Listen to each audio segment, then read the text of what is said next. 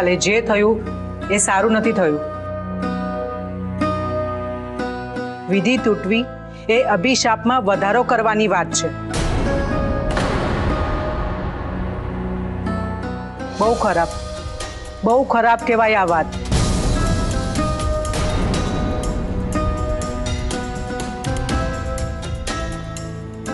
સંધ્યા માતા હવે કઈ નવું ના કાઢે તો સારું મારી अनु कोई निवारण छे मारी पासे तमाम गोचवण નું નિવારણ છે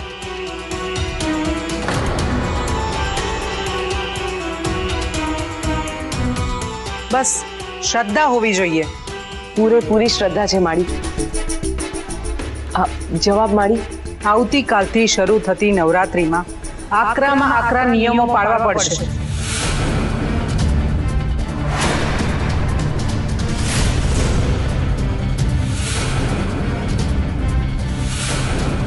જો નિયમો પારશો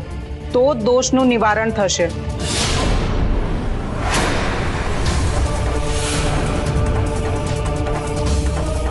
અને અભિશાપમાંથી મુક્તિ મળશે અન્યથા હર્યો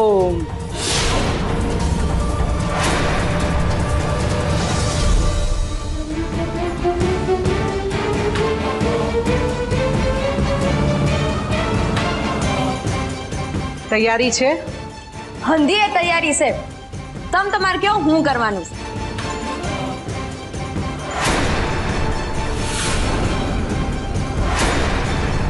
ચૈત્રી નવરાત્રી ઈચ્છિત ફળ આપવાનું કામ કરે છે અને એમાં પણ પિતૃદોષની મુક્તિ માટે આ દિવસો સર્વશ્રેષ્ઠ છે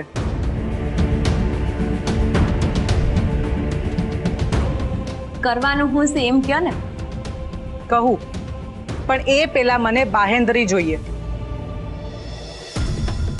બોલો કરવાના છો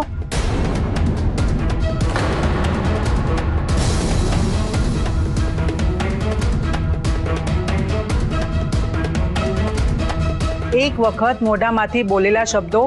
વિધી માંગે છે તો નક્કી કરો વિધી કરવાની છે કે નહીં તો સાંભળો શું કરવાનું છે સૌ પ્રથમ માતાજીની સ્થાપના કરવાની છે અને એ નવે નવ દિવસ માતાજીનો અખંડ દીવો પ્રગટાવવાનો છે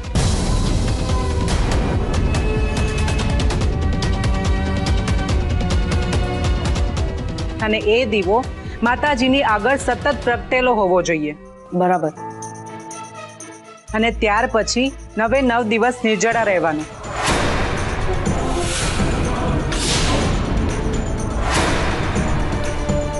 અને સાંજની આરતી પછી માતાજીને ધરાવેલું પાણી જ લેવાનું અને હા બીજી વાત નવે નવ દિવસ એજ પાણી આહાર અને કોઈ પણ પ્રકારના અન્ન કે ફરાહારની છૂટ નથી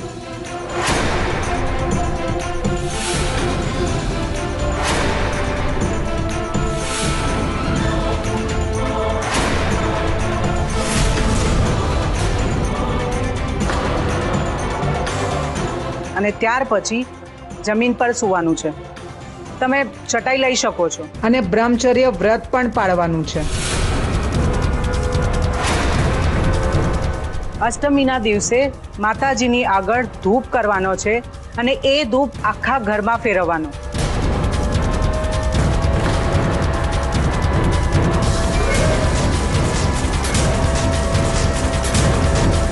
અને રામનવમીના દિવસે એક મિષ્ટાન બનાવી એ ભગવાનને ધરાવી અને એ પ્રસાદ સાથે નવે નવ દિવસના નિયજરા ઉપવાસ છોડવાના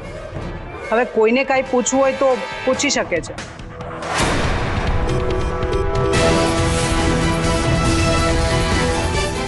માડી હું તૈયાર છું એ તમારે નક્કી નથી કરવાનું કે કોણ કરશે એ માતાજી નક્કી કરશે આમ તો મને માતાજી આદેશ આપી દીધો છે છતાં પણ હું પૂછી લઉં છું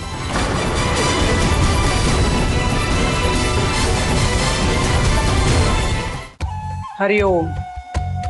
અને નવ દિવસનું આ વ્રત કરશે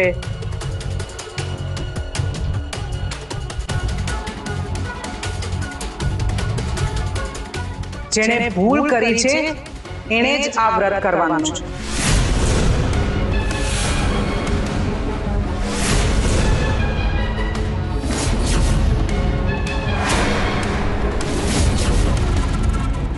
મૂળ ભૂલ તો શારદાબેનની છે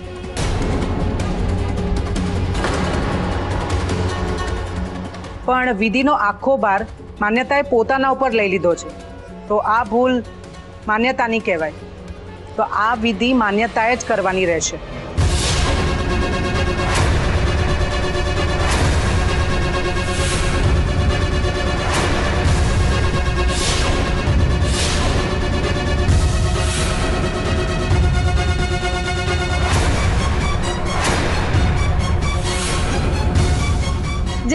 ભગવાનની મરજી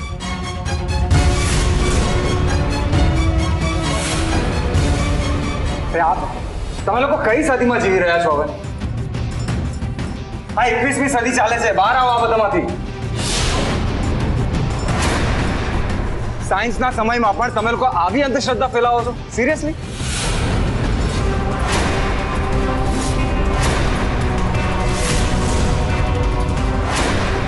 અઢારમી સદીમાં જીવતા હો ને તમે લોકો એવું લાગે છે મને ખરેખર ખરેખર મને સમજાતું નથી કે તમને લોકોને શું કહો હવે કોઈને કાંઈ કહેવાની જરૂર નથી આ હંધાઈને હંધીએ ખબર છે ને તારા કરતા વધારે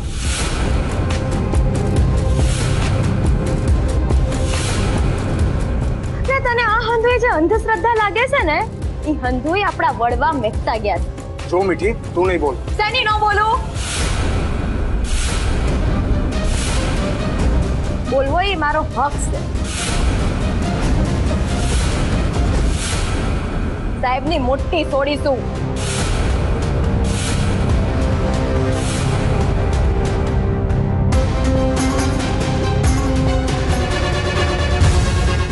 કનરાજવતી હું તમારી માફી માંગુ છું માફી તો ઉપરવાળી માતાજી ની અને આ એમની માટે તો આ બધી વિધિ કરવાની હતી હતી નહીં છે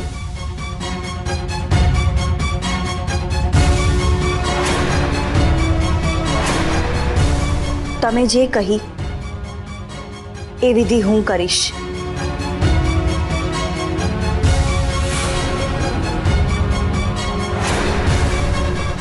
તો કરો ચૂ બારમ ચૈત્ર નવરાત્રી નો બોલ મારી અંબે જય જય અંબે ગટુડી ન ગાલ તો ટામેટા જેવો થઈ ગયા છે ને નવરાત્રી આવે એટલે ચહેરા પર ચમક તો આવી જ છે ને હમણાં ચમકી લે મોઢા પર અમસ પાથરવાનું કામ આ મીઠી કરી દે માણસ જ્યારે પોતાને મહાન માનવા માંડે ને ત્યારથી જ એની પડતી શરૂ થઈ જાય આ વાત તો તને લાગુ પડે ને મેં મારી તાકાત દેખાડી દીધી છે ને હવે મારી પાસે નવ દી છે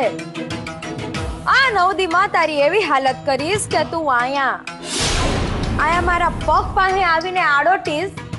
કે હવે મને મેલી દે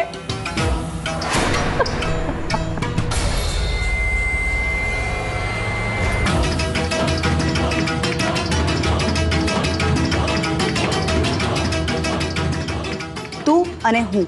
માતાજીના સ્થાનકની સામે જ ઊભા છીએ તારે જે માંગવું હોય એ માંગી લે અને પછી જોઈ લે માતાજી કોની પડખે ઊભા રહે છે આને અભિમાન કહેવાય ના આને શ્રદ્ધા કહેવાય બહુ બોલતા આવડે એટલે એનો મતલબ એમ નહીં કે આપણે હાચા જ છીએ અને બોલતા આવડે એનો અર્થ એવો પણ નહીં કે જે મનમાં આવે એ બધું બોલી દેવાનું મીઠી તારે મારી સાથે જે કરવું હોય કર તને છૂટ છે પણ અટાણે તને મેલી દઉં બસ તું વાંકી વળી પગે લાગી એટલું કહી દે કે તું મારી ભેડીશ મીઠી હું તારી સાથે હતી છું અને કાયમ રહીશ પણ તું સાચી હોઈશ ત્યારે જ માણા જાય બી જાય ને ત્યાં આમ જ આમ જ આગો રહ્યા છે સાપ કરડે કારણ કે એ એનો ધર્મ છે